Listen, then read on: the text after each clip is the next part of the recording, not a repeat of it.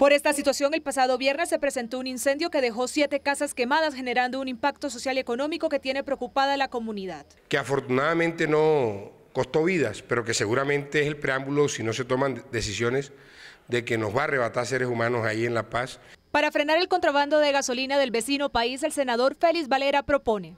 Articulen una política que permita que empecemos a sacar a esas personas que están dedicadas al manejo del contrabando eh, de combustible ilegal y entren en una reconversión laboral. El ministro de Minas respalda esta propuesta para acabar con el peligro y la zozobra en la que viven a diario los habitantes de La Paz. Vamos a trabajar en procura de buscar la formalización de esta actividad que entraña eh, un riesgo muy alto. Con esta propuesta se espera que miles de familias de La Paz puedan salir de la ilegalidad y así dejar de poner en peligro sus vidas.